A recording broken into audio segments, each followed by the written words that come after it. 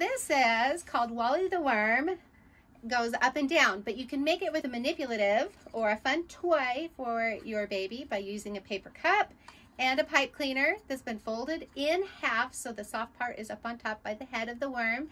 And Courtney has one over here that we actually decorated to look like the ground and grass. So it goes like this. Ready?